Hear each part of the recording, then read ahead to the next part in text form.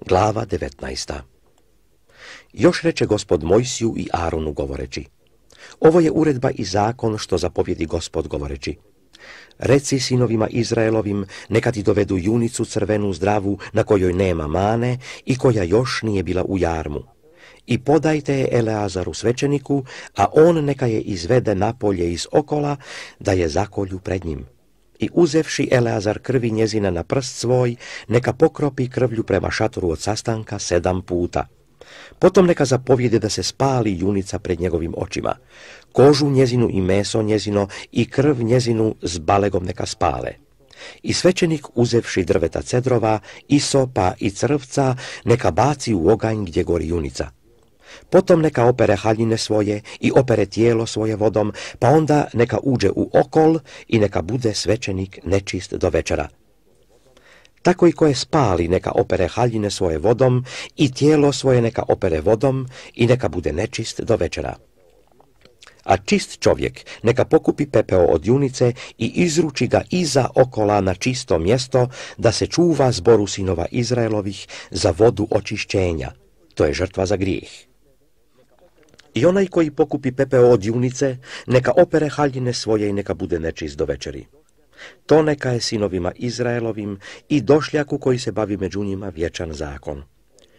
Ko se dotakne mrtva tijela čovječjega, da je nečist sedam dana. On neka se očisti onom vodom treći dan i sedmi dan i bit će čist.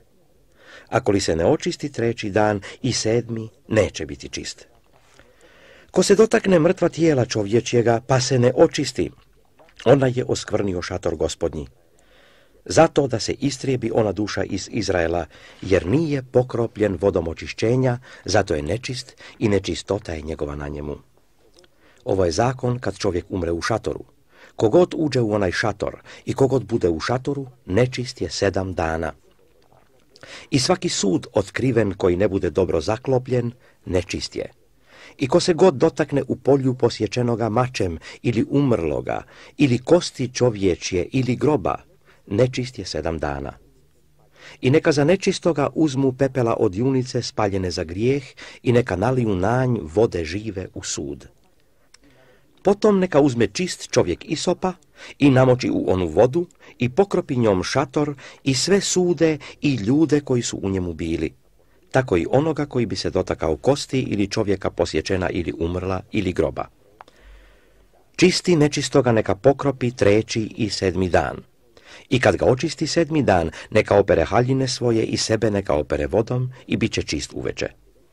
Ako bude nečist pa se ne očisti, da se istrijebi ona duša iz zbora, jer je svetinju gospodnju oskvrnio, a nije pokropljen vodom očišćenja. Nečist je. I ovo neka im je zakon vječan. I koji pokropi vodom očišćenja neka opere haljine svoje, i ko se god dotakne vode očišćenja da je nečist do večera. I čeka se god dotakne ko je nečist, da je nečisto, i ko se njega dotakne, da je nečist do večera.